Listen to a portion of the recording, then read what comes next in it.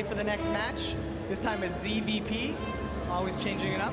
It's gonna be super exciting. Our Zerg player was just on stage with us. He's really funny and he's got chocolate all over his shirt. He is Azubu Violet. Warm welcome.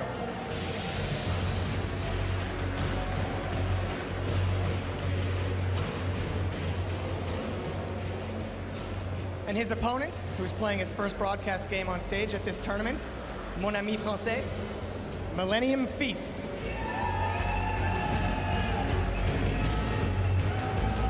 All right, guys, shake hands. Good luck. Have fun. And I'll let the casters take it from here. Thank you very much, Jared. It's fantastic to be back straight away for another cast, as we do have Feast versus Violet. Now, day nine.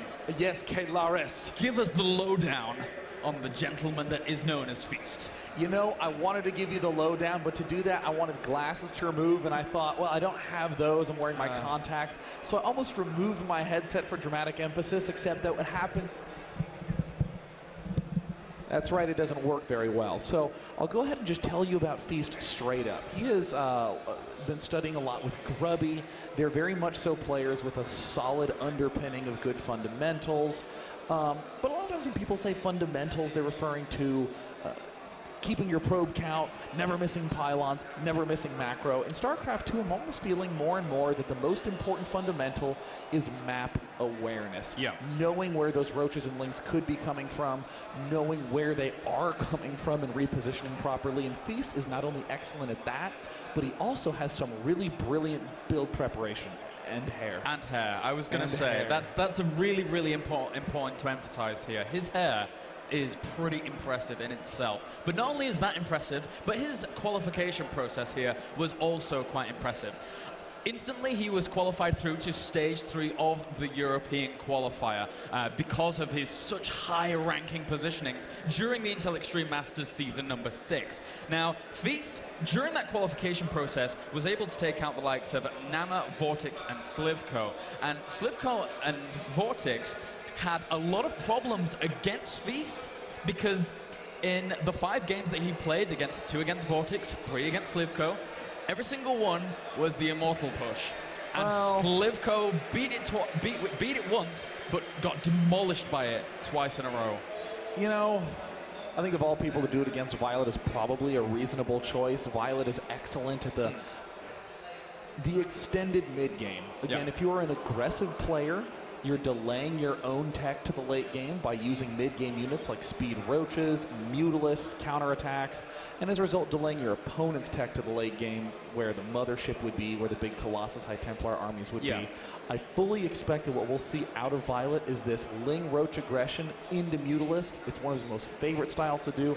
The map, though, is going to be Metropolis. I don't know how Feast plays on huge maps. On smaller maps, he has a Ah. lot of two and three base timing pushes, as you said. Yeah, uh, th- th- there is always that potential from Feast. And, you know, again, there's those real two big extremities on Metropolis. Some people, uh, like we've been seeing a- for a lot of this tournament, whenever we end up loading up onto that map, it's this big, massive 50-minute macro game with Oh, yeah. some Ravens involved, I hear.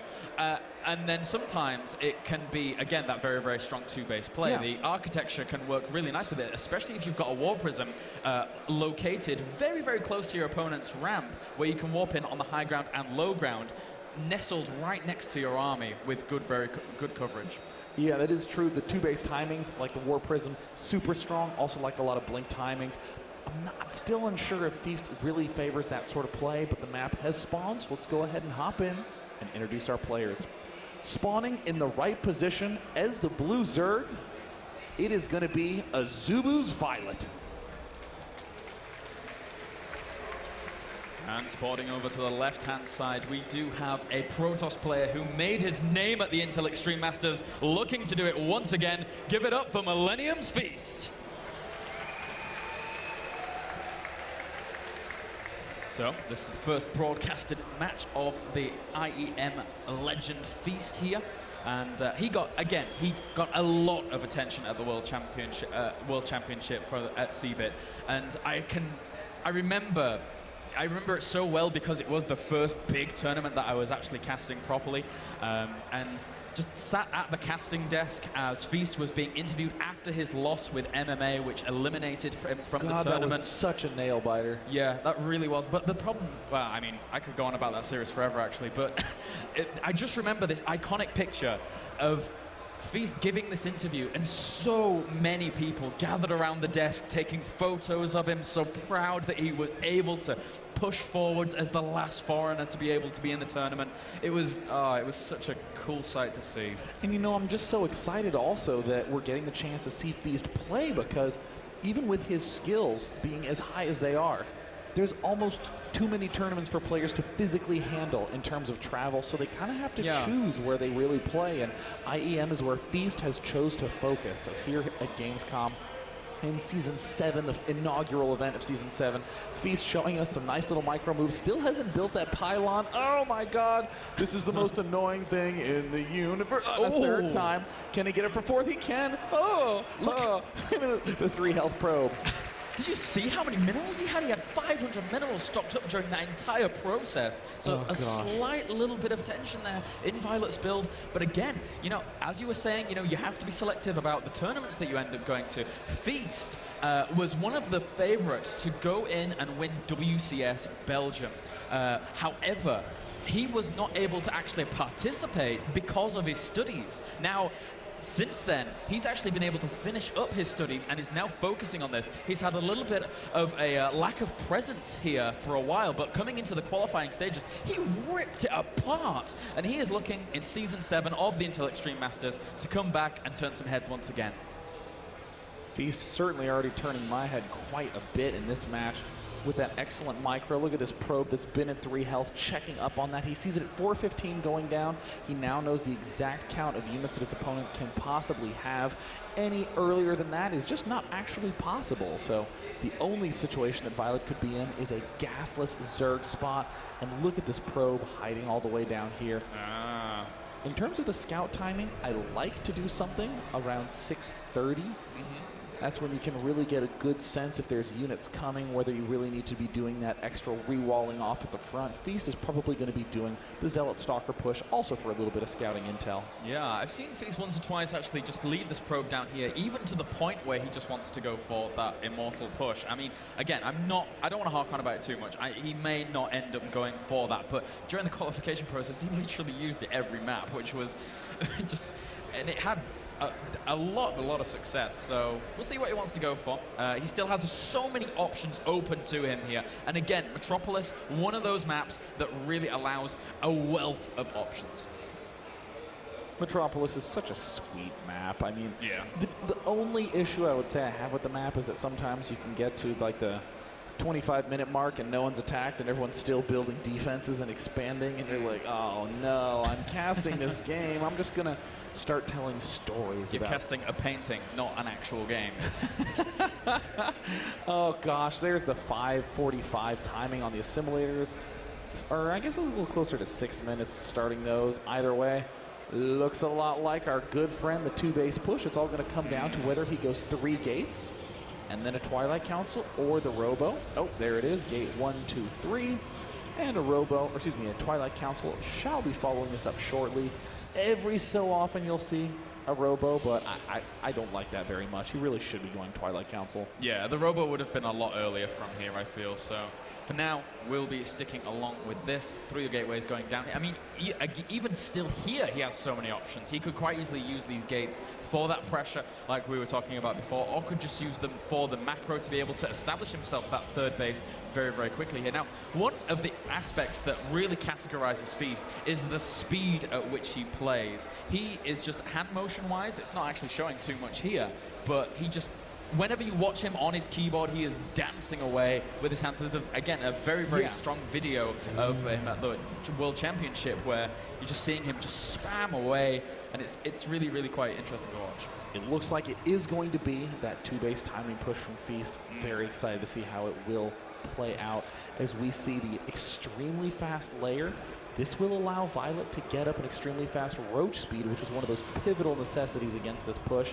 But I wanted to come back to that speed point you were making earlier that th- there's a certain kind of speed that you just can't really measure. Yeah. I mean, it's almost like I can box workers like this, or I can box them quickly. And I mean, Feast does every action super fast. Even something as, as simple as just like sending a unit over here, it's just click, bam, instantly perfect accuracy. It's a real treat to watch live. Yeah, there's so much flow in every single move that he does, and again, I don't want to, I don't want to overuse that, but it, it, there really is that flow that does occur in his control. So for now, he's going to move out with uh, so many sentries here, and um, No roach speed yet. Oh, Uh-oh. Kaelaris, he doesn't. He didn't even get speed for roaches, and now we see the mega army moving forward for Feast. He's already demonstrated where he wants to attack from. It's going to be from the south.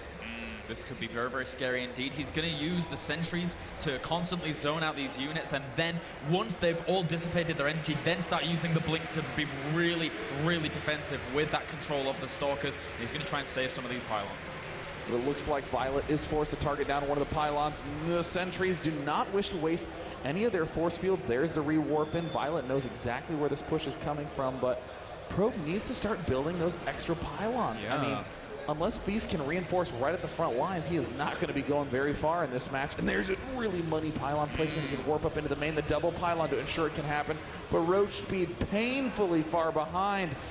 And the problem with this map for Violet is that exactly that. Force fields on this map so good because of how narrow some of these paths really, really are. These roaches very, very separated from the ones in the back, not doing too much damage from the back there at all. And for now, he still has so much energy left on these. Um, an offensive blink here, which is a very ballsy play there for Feast, but it actually pays off.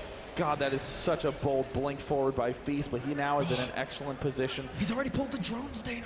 Oh my God, Violet is feeling really upset at this point in time. He is feeling on the verge of losing right away. Feast brilliantly morphs in another two sentries. He's going to have to replenish some with Zealots, but he's starting to realize that with those drones pulled off, he doesn't actually need to push in and do damage. He needs to buy time, forcing Violet to lose more and more and more and more cash. The sentries will help do that, and there's the split Oh. brilliantly getting just a few units, and oh my god, Feast is just wrecking Violet in this game one. Oh, not only that, but the majority of those were drones anyway, so he still has quite a lot of energy left over here. Guardian Shield went up to be able to negate as much of the damage from these roaches, and now just a few roaches still separated in the back here. He still has that defensive blink capability to make these stalkers so cost effective going up against this composition for Violet. Look, oh my god, that unit's lost tab Kaelaris Oh. is just telling the whole story. The excellent slow two-base play from Feast is just taking Violet apart. There's virtually nothing that Violet can do. The speed is done for the Roaches, but we're seeing oh, Oh. another really ballsy blink forward from Feast, and slowly but surely Feast is making his way to the core of Violet's base. Confidence exuding from him with that forced forward blink there. Now he's using it in a defensive capabilities. Blink so versatile going into this big two base play. And there you go, GG. GG. Feast. Feast is up 1 0 against one of the best PVZers on the planet. Yeah.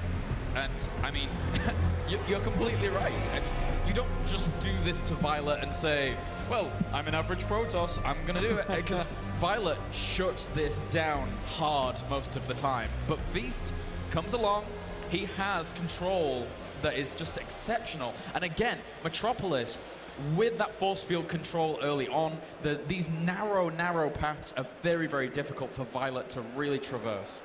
Yeah, I mean, Feast, I just think, was so brilliant in how slowly he did that push forward. Yeah.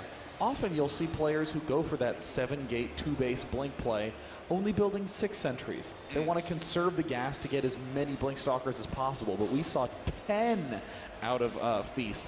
He ended up being forced essentially to build some extra zealots just to have some units made instead of nothing because he had no more gas remaining. Yeah. However, with that really slow set of force fields, it was just three or four force fields, picking off six roaches. Another three or four force fields, just picking off some zerglings.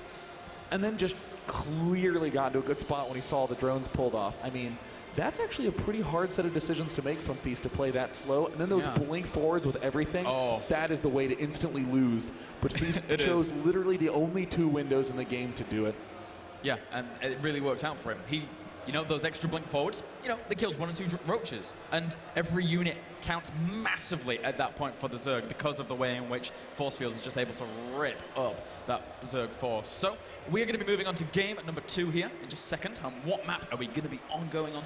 I mean, Daybreak, the expected choice for Violet. Again, the maneuver he likes is to do the, the heavy Ling with some speed roaches, but then transition into Ling Mutalisk. He loves Ling Mutalisk play. This map's beautiful for it. But this is also starting to become the Protoss special build map. We've seen Oz do a one-gate triple Nexus play. We've been seeing uh, Inori do his DT Rush triple Nexus play. We've also seen the dreaded two base immortal push warp prism play, which can never really be bad on any map.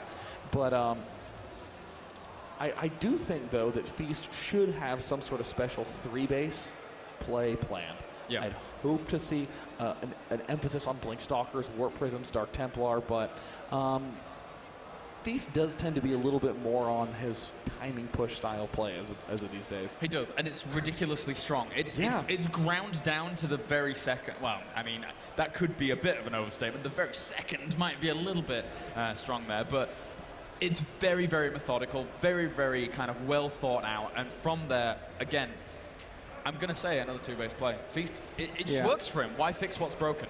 Yeah, I mean, it looks like the game has now been unpaused. We'll get the chance to go into it. Down in the bottom left from Belgium and Team Millennium, it is Feast. And spawning up to the top right hand corner, once again 1 0 down in a series. He needs your support, guys. Give it up for Azubu's Violet.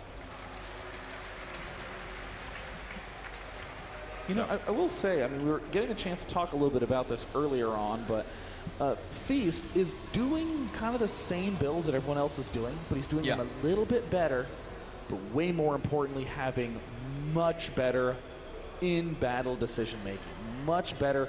Again, positional awareness, knowing where the units can be front coming from, how to move his army to account from that, and still have the warp in paths. Those pylons were very threatened Yep. in that first game, but Feast managed to get himself set up nicely to defend it. Oh, that's very, very true indeed. As you know, Feast. It, it's interesting the wall that we actually had there from Feast to kick that game off. He actually had.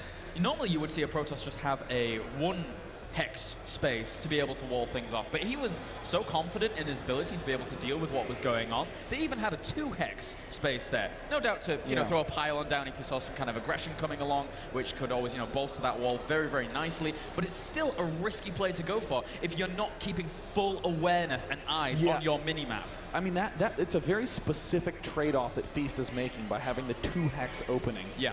It obviously is a lot harder to block off with just a zealot. You need the building, but at the same time, it also allows you to make a double thick wall off in case of emergencies. With that single slit, you can really only do a one extra backup wall off. Again, with this nice dancing. Look at this. Violet's adjustment is to actually bring Yeah. drone two. Exactly. That was so neat for Violet there. Adjusting from one game to the next really does show the level at which Violet plays. Just he doesn't want to have to have 500 minerals backed up like he had on Metropolis. That is not a good place to be in as a Zerg player. Yeah, I mean, Feast doing magnificent little manipulation there. But in this game, Feast is seeing, you know, I haven't really done any dramatic damage. I'm just seeing where my opponent's at. This is a nice little place to hide the probe. I haven't really seen that. This tends to be the most typical place to hide probes nowadays because it's very easy for a Zergling to walk right by it.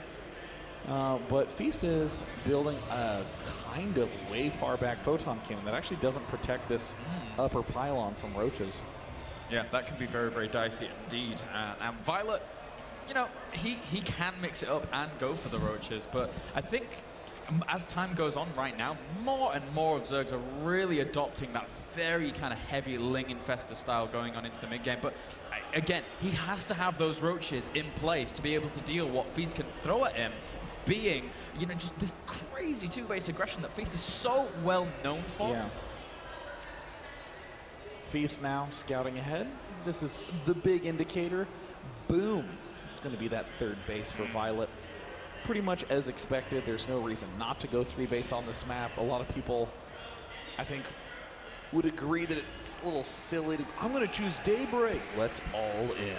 That's That's Yeah. overthinking things a little bit. If you want to all in, Yeah. choose Ohana, choose something that's a little bit smaller. But Feast, doing everything as typically expected. And again, around 5:45 is when Zergs really start keeping the hawk's eye on those Vespene gas geysers.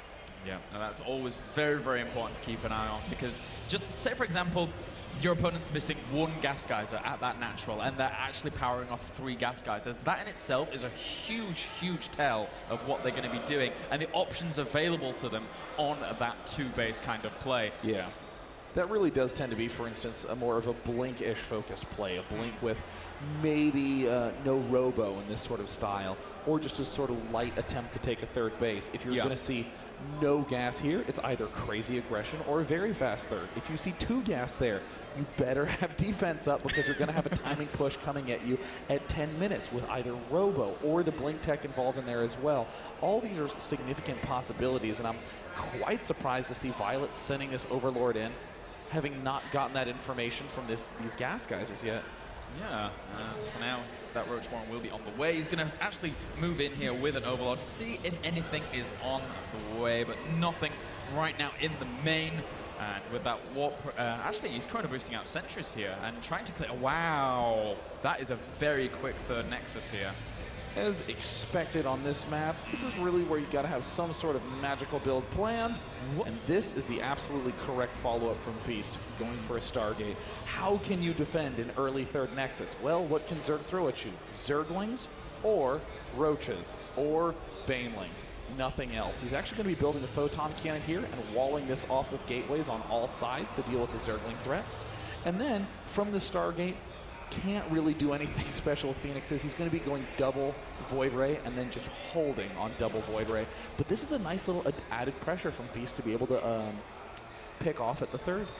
Yeah, I'm sort of.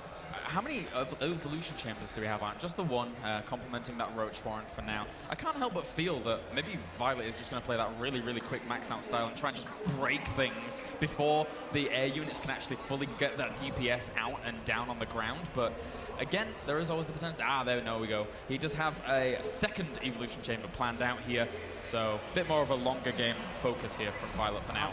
I, I'm, I'm a little disappointed, honestly, that Violet has not scouted this expansion. That's so classic. No gas by seven minute. Well, he's either going really aggressive or he's taking a fast third. Wait a minute. I haven't seen the aggression yet. And it's nine minutes.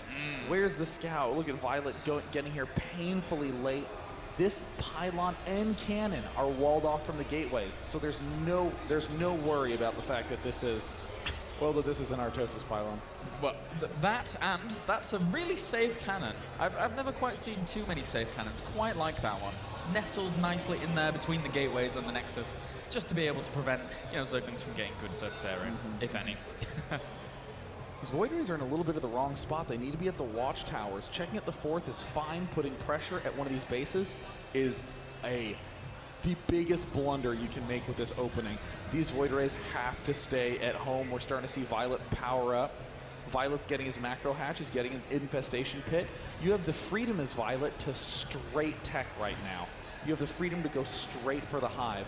The trick to do eh, in Violet's position is actually to go hive and corruptor and then get the infestors later on. Because what pressure can your opponent who went this fast to a three base really apply to you? Only air. That's how you get the corruptors in there.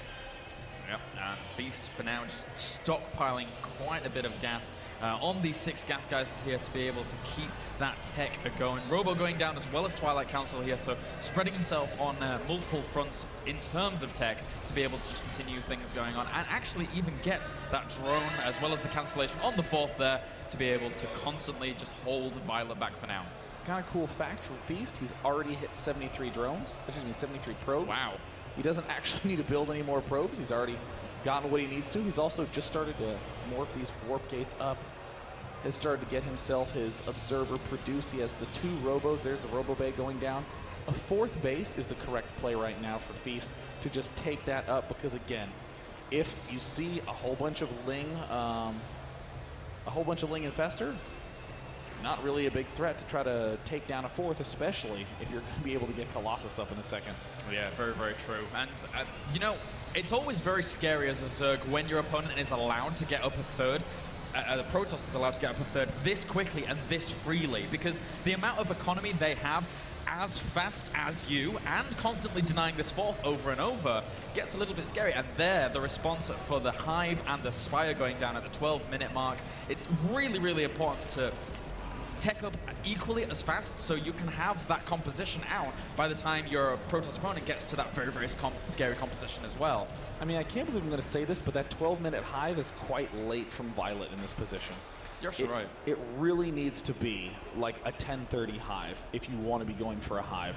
Because right now we're about to see feast. What is it? There's oh. six gateways here. There, it looks like there's going to be another few up here. There's about 11 gateways on the map right now. So there's going to be a tremendous Blink Stalker warp in that can easily crush down the front door seconds before those Broodlords pop up, which is the most vulnerable spot for Zergi. And not only that, but it's that Naniwa-esque double robotics facility, double Colossus production, so fast to the point where he's going to get four Colossus very, very rapidly without his opponent actually initially realizing. So that can always be a massively scary factor, whilst Feast really doesn't have, too much intel on the tech. Sorry, whilst Violet doesn't have too much intel on the tech of Feast. Feast now has the money mix up to defend the fourth. There's the good old Nine Stalker warping. And I think, I think Violet might be getting a little bit of a lucky break here. He hasn't been uh, had any pressure applied. Here begins the 90 second countdown to being able to start those Broodlords. Broodlords still will be popping up at around 1630, plenty of time for peace for Feast to push. But the eight Corruptors are the real danger. All these Spine Crawlers haven't been constructed yet, and Feast oh. is about to hit at the key time. Yeah, he's maxing out at the, almost exactly the same time as Violet is. How many times do you see this happen? He's going to blink into a, a, creating himself a bigger concave here, creating a much better uh, actual arc of attack uh, against this location. And uh, for now, if he pushes in and just pokes away at these spine crawlers, it could be very deadly. Where are the Corruptors? There, they're, fi they're finally starting to make their way to the front lines. An incredible arc for Feast. Force fields trapping everything perfectly. The Void Rays absorbing most of the damage from those Corruptors. Violet trying to find an angle. He does manage to sneak a lot of those Zerglings in. Almost all the force fields have been expended. After this moment, Violet is now starting to conquer this front line. How did he pull oh. this off?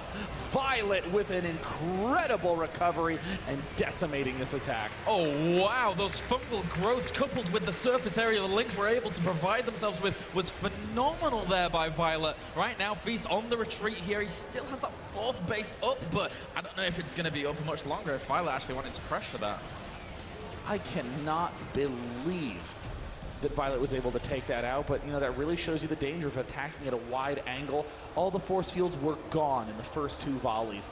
The excellent, excellent fungal growths trapped the sentries at the front, and once those were picked off, it was a bunch of stalkers getting surrounded by lings. The corruptors in the middle getting eaten alive. I mean, the corruptors weren't even able to be target fired down by any of the stalkers. Yeah, that was pretty brutal there for Feast, and now we do have those seven uh, Broodlords going to be morphing in in just a little second here. 3-3 going to be going down for the Lings and Broodlings as well, so Violet's going to have a very, very nice amount of upgrades, but there's four Colossus. They're not having any of that aggression over at the fourth. God, there's a lot of Broodlords on the maps. Just super suddenly for Violet, but gosh, did he get those up just at the right time. I mean, if Feast had had that range just 15, 20 seconds sooner, the wall of spines would have been obliterated.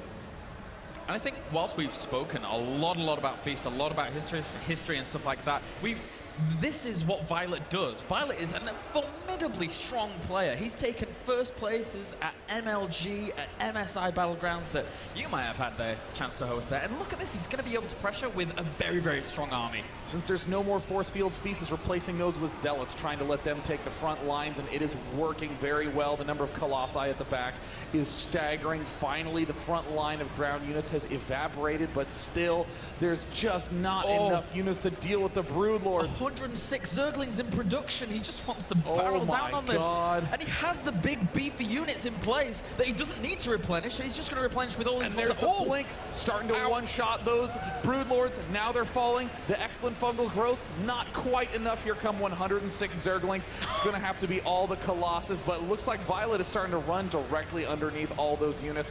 Not that many Broodlords left on the map. The Colossus in an excellent position, but I mean, this is a real nail biter. How do you get an edge as either player in this spot? Well, as Violet, you got to go back. You got to rebuild those mega forces. We see again the fungals from Violet landing just perfectly, and an excellent angle for oh. those Colossi to start roasting units. What bold blink forwards by Feast, but correct ones nonetheless. Yeah, Violet behind this has tried to establish himself a fifth down to the bottom right-hand corner here. The only problem I see for Feast is he's not making that transition to the fleet. Where is that? Has he got a fleet beacon yet? I don't really see it anywhere. I mean, Mothership isn't the end-all and be-all, but it's certainly really damn useful going up against this kind of con- uh, co- uh, composition. Yeah, I mean, now with all these Zerglings on the map, Violet is starting to say, ah, you know, I don't quite have enough left over to get those Broodlords, but you know what? Broodlords might not be the best choice. I'll just max out on Corruptor, Infestor, Zergling, and overrun this Colossus Stalker force. Feast is basically going for an extended mid-game. Colossus Stalker, not exactly the late game composition. You want to have those Templar, those Archons, that mothership. A blink forward, an excellently positioned blink forward. We're starting to see all the Corruptors eat those Colossus for breakfast. The Zergling numbers are getting equally low, but now as the uh, Infestor count is also starting to slowly dwindle, this is where Feast needs to ask himself, what can I possibly build right now? Violet has just cleared out my Colossus, and that's soon going to be, oh, Oh. Zerglings picked off the Nexus in the midst of the attack. That was a really, really nice play there by Violet. Even I, actually, I didn't see that at all, I must admit, as we will be able to try and work on these rocks for now, but Violet's still cruising up to that max supply count. Seven more Broodlords on the way right now. And does Feast really have the economy to be able to go up against this kind of composition right now? It's... I, don't oh know God, what I he can mean, do. it, it, was really to Violet's credit. Violet said, "What is the real problem I'm going to have if I want to go infest Broodlord?" Well, Yeah. the problem is those six damn Colossi. So let me do an attack to kill off those, Oh. and then I'll start going Broodlords. The Zerglings are out of position. The Broodlords under assailment by these Stalkers, but the Zerglings spring in from the Oh. back and feast despite his perfectly executed build, his perfectly executed timing attack. Violet, too good in the matchup. One of the most impressive games I've ever seen out of Violet. Yeah, that was extremely, extremely well played there. It's easy to crumble under the pressure of, you know, again, a Protoss taking that very, very fast third base, allowing them to just, you know, he sat back pretty much and let Protoss do what he wanted for a long time during that game. But behind that, in the midst of everything that was happening there, he was also doing just what he wanted Yep. to do. And uh, showed there that it really did work out. I mean, if you're in Feast position, you actually think to yourself, I got to do my build exactly. I wasn't messed with. I wasn't thrown off. I got everything up. I delayed his fourth. I mean, I honestly think that if Feast had just angled himself a little bit more solidly in that big push at 15 minutes, that is where he could have secured himself that advantage and won. But just getting into a too wide of a position once against Violet is all it takes. Yeah, Violet's the kind of player that's going to be able to spring on that opportunity. He is, he is an opportunist in essence. The- I mean, yeah. I think that's a great way to describe the Zerg style, actually. Yeah. yeah, he, like for the longest time, we would see Violet just scout like Terrans, for example, see the front slightly exposed, instantly throw down the Roach Warren, and instantly go Baneling Nest, Yeah, try to yeah. bust up the ramp. And the opportunistic style that we see from Violet transitions very, very nicely onto those key small mistakes that your opponent's going to make, slight overextensions, being able to run in there, get good surrounds, Yeah. and that is Violet to a T. And now, with the last map being Cloud Kingdom, this is very much so the opportunist map. There's so many different attack paths, Yeah. counter attack paths, expanding patterns. This is where we see Violet truly shine. If Feast moves out and doesn't protect the third, or actually, if Feast even does protect the third, but doesn't protect an attack path to the third, Violet will still make that push, still do massive damage, and Feast will be thinking, uh, do I try to take out this fourth extraneous base for Zerg, or do I save my critical third base? This is what happens. These are the decisions that Violet puts onto his opponents. Very true. So without further ado, we shall be loading up into this third game here in just a second. 1-1 currently, and I think that's a very apt result right now. Both of these players very evenly matched. There's Feast, mm-hmm. who can bring those big, big power plays. Again, if you look at those two games, he might say, hey, well, I won in the first game with that kind of play, um, you know, that kind of big two-base play. And actually, Cloud Kingdom is a really good map for that kind of play if your opponent's going to be taking that third at a standard time because of the way in which the architecture works around that third.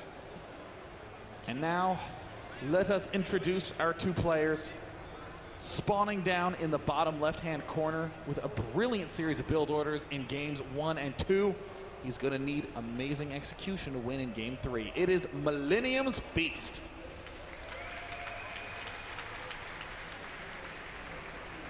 And spawning up to the top right-hand corner, originally from Korea, but moving over to the USA. He's going to be spawning here as our Blue. Give it up for Azubu's Violet.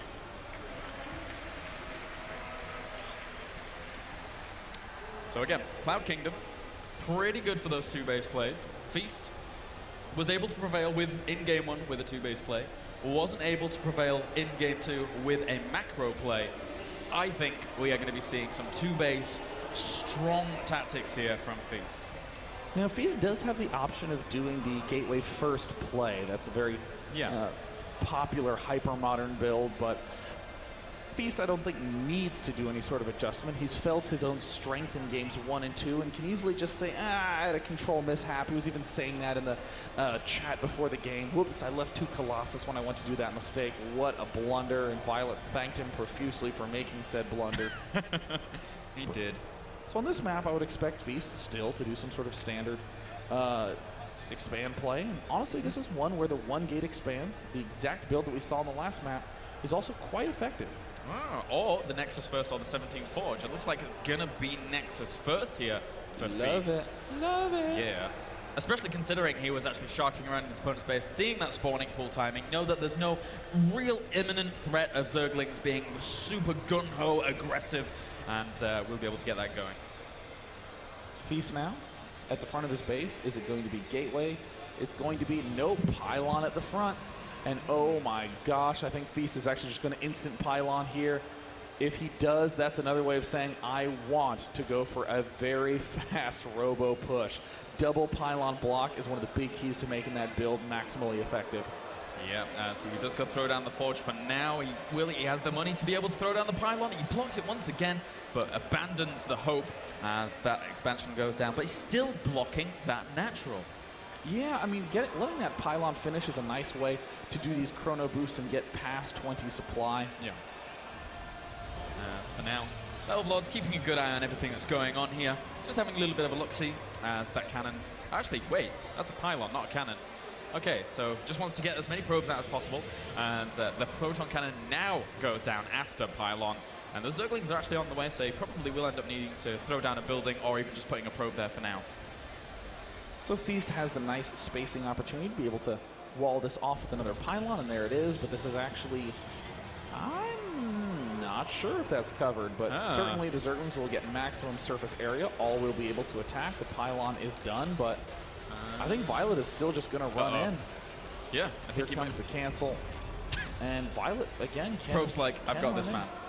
Probe's fine. Probe's fine. He's he's fine. He's got it.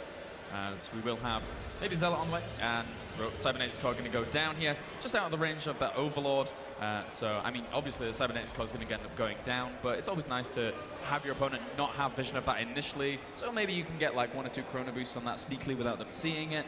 And Chrono Boosts early on are pretty important uh, for Protoss to be able to allocate them in the correct locations. Yeah, Violet is seeing the Chrono Boost going down on the Nexus. Yeah. At this point in time, you would generally stop uh, Chrono Boosting the Nexuses, especially this Chrono Boost right here. This this would not be going down for a lot of mega, mega, mega big timing pushes. Feast now with this Cybernetics Core finishing up. We see there's, oh, we're starting to see the components for some sort of a very early push. He just needs to take both these gas geysers around now to finalize the preparations.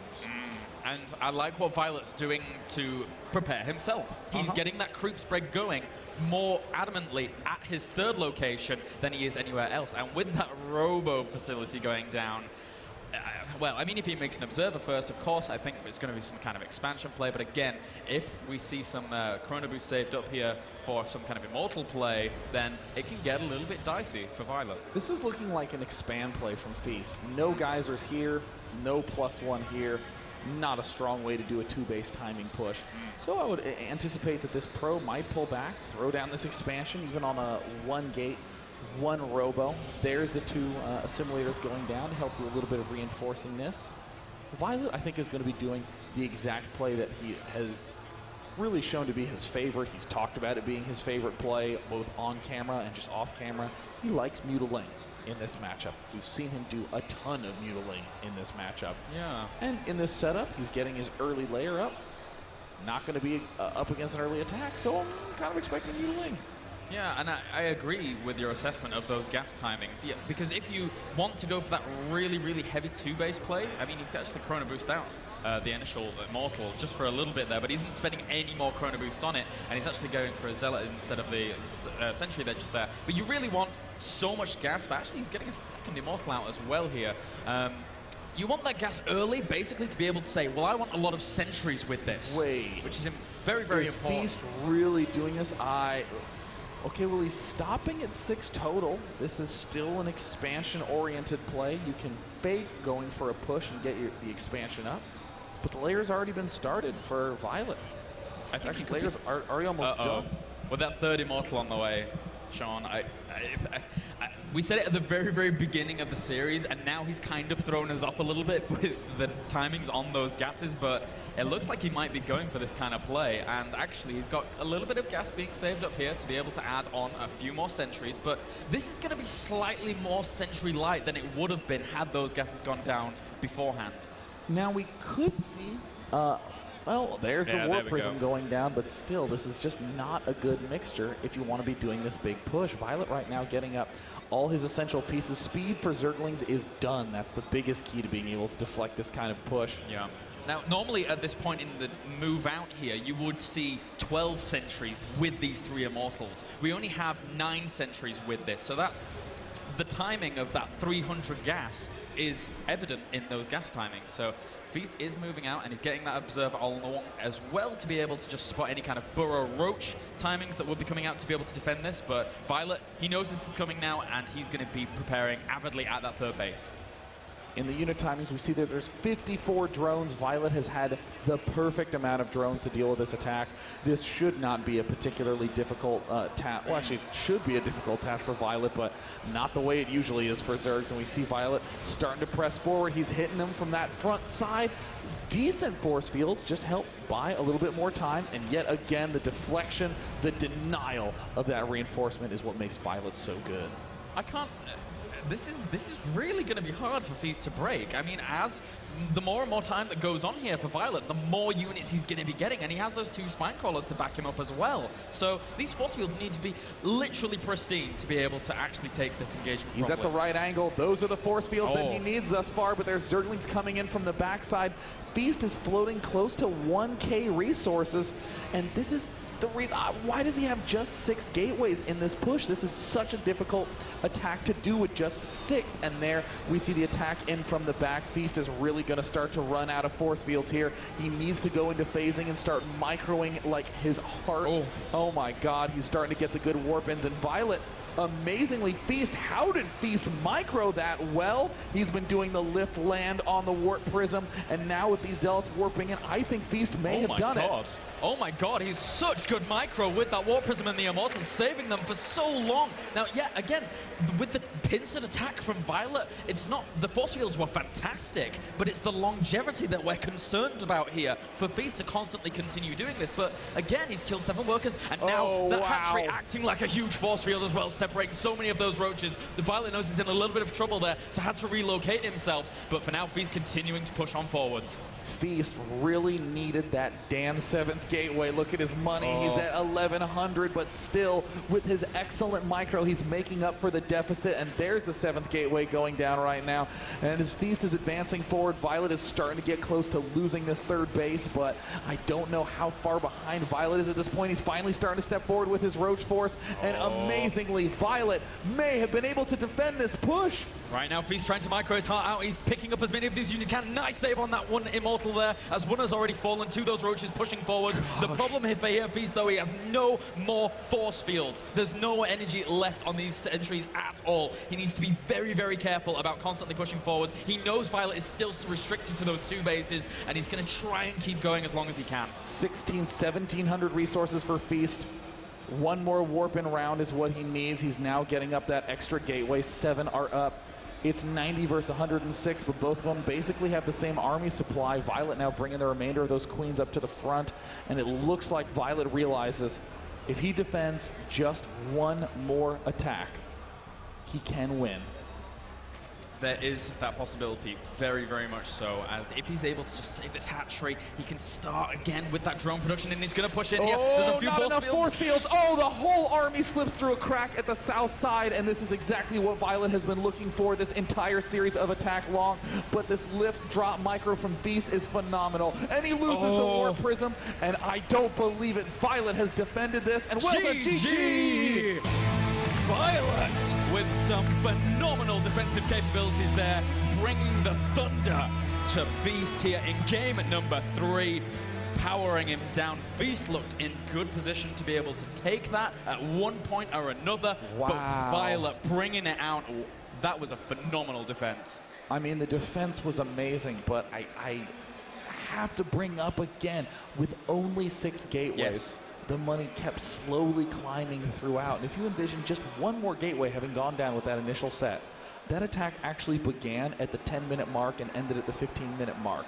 That's almost 10 full warp-in rounds. Even if you got just eight extra stalkers in the midst of all that, that's plenty to be able to have tipped the tide into the favor of Feast. But either way, Feast is really showing that in all three games had a different, unique build style yep. that performed just so close to winning in games two and three, but God, Violet is resilient. Yeah, really is. Really making a good situation in his favor there. And I, I, have to echo it, echo those sentiments. He had so much money banked up, and again, imagine if he'd have had an extra three sentries in that composition, where it's the, normally the 12 oh. sentries that push out with those three immortals. I think he was maybe playing a little bit of mind games with Violet there, saying, yeah. "Hey, these gases aren't going down at the normal time. So, you know, you can just, you know, go for your lair, just be fine, drone up a little harder than you normally would do. But it, it didn't pay off for him in the end, unfortunately. Yeah, it's one of those things where even considering mind games in general, it's always more important just to have good timings and to have those extra units. Yeah, Whether yeah. you've tricked your opponent into building more drones or not, having six extra force fields is a good thing, right? You just want to have a lot of force fields with that push. Uh, we're still seeing, though, is the Immortal Sentry Stalker composition is so tough for Zergs to deal with. Almost always Zergs will, will go up to 60, 65 drones and have barely a chance to be able to stay alive, even at 55 drones, where Violet stopped very early and built way more Ling Roach. He had just enough. It was all micro for Violet's part. I mean, yeah. Feast had the most incredible force fields, most incredible patience. Huge props to Violet. And that micro only aided more and more by that little extra bit of creep spread that he had around the third. I mean, yes, a lot of Zergs are doing that anyway to be able to just really kind of have that massive, massive defensive capability in that area anyway. But it's one of the attributes that can sometimes go unnoticed, but is vitally, vitally oh, important. Oh, yes. Oh, you need that speed to be able to stay alive. So that does mean Feast is 1-2 in Group B. Violet is 2-1 in Group B, and the other results are still being determined as players are playing their matches out. Yeah, so I think we may end up or may not have an interview on the stage. Yes, we will. This is Jared Kale. Good to go. As I slightly move my chair yeah, out of the way to have a look. Let's see up on the main stage of Jared's there. I'm standing here with our winner, Azubu Violet.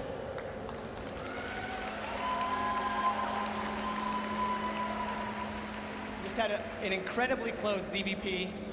How do you feel? I feel like Protoso Imba. yeah, well, in the in the right hands, I guess it can be. Um, is there anything you want to say to your fans? You, you speak good English. Um, this, this event, uh, first time with my sponsor Azubu, I tried my best and for Azubu, and I tried my best for good game, you guys. So keep cheering me. Thank you. Thank you very much. Good luck in your next games. And before I go on, I, I want to make a quick correction. When I brought out Feast last time, uh, I said mon ami français. There was a slight miscommunication where he thought I asked if he spoke French. I meant to ask where he was from. He is in fact Belgian. And having some Belgian friends of my own, I know how they feel about being called French. My humblest apologies to the very beautiful country of Belgium. Okay? And now that I'm humbled, uh, we're going to cut to a quick, quick commercial break and then come back with Feast again, this time versus the demigod Nestea.